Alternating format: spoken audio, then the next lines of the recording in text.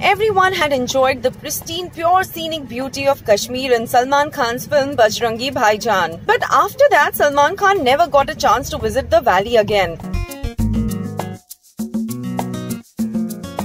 And now we hear that the makers of Race 3 have planned a shooting segment in Leh Ladakh and it will include a short stint in Srinagar as well. In fact, the team will first head to Kashmir after which they will move on to Leh Ladakh and finally it will be a wrap for the film. Earlier this schedule was supposed to be shot in South Africa but after the verdict of the infamous Black Buck case, Salman was restricted from traveling abroad and so a change in destination was inevitable. And now that the ban has been lifted, Still, the makers thought of going ahead with shooting in Kashmir and Leh Ladakh. That's all for now.